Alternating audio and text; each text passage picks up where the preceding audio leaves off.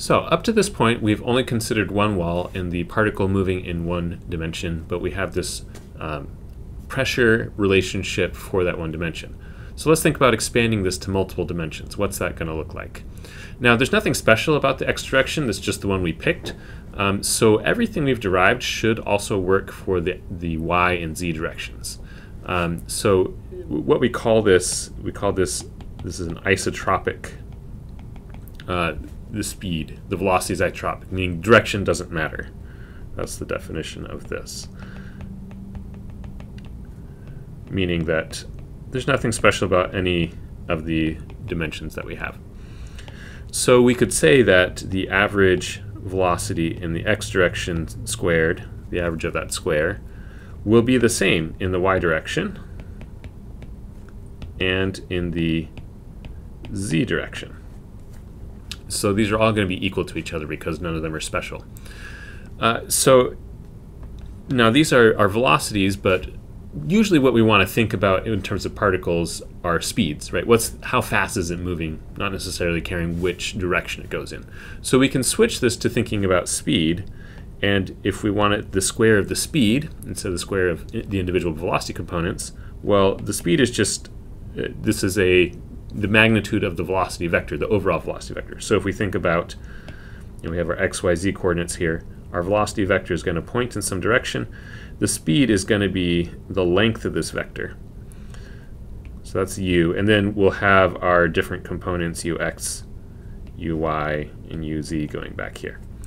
So the square of, of the speed is going to be equal to the square of the x component plus the square of the y component plus the square of the z component. This is basically the Pythagorean theorem, just with an extra dimension.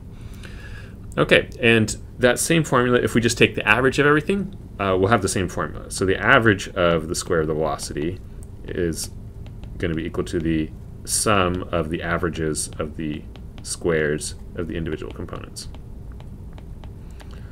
All right, so now we've, we've related this back to something that we can measure.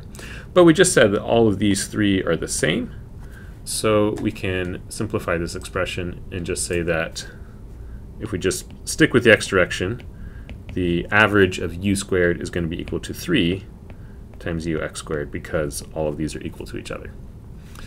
Um, that also lets us, we can go the other way around. We can say, okay, well, the equation we have ahead, above is in terms of ux squared, the average value of it. So we can say this is equal to one third of the square of the speed, right? The magnitude of the velocity vector.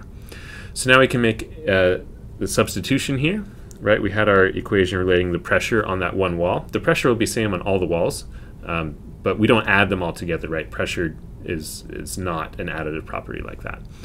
So we can say PV is equal to capital N times M, and now we can substitute our, our new expression for U, uh, average of UX squared which is one third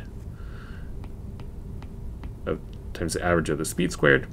Or we can just, you know, rewrite this a little bit nicer like this. Okay, so now we have something that's related to the speed. Now, it's not looking at a particular component, but we're, we're, relating it to the speed of the particles. So we have the average of the square of the speed.